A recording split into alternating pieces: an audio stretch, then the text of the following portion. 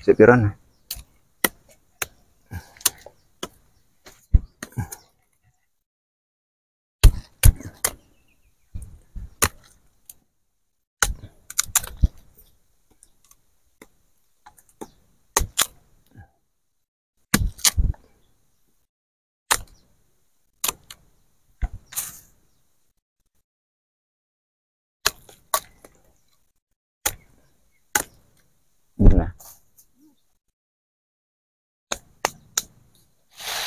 Yes, ganito na.